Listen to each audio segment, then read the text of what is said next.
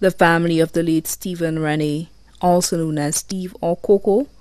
who passed away on Sunday, 21st September 2014, and was laid to rest on Wednesday, 8th October 2014,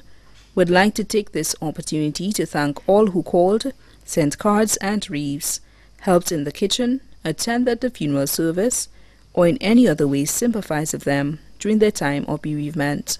Special thanks to the nurses, staff, and friends of Comfort Bay, nurses and staff of the Wellness Center, Millennium Highway,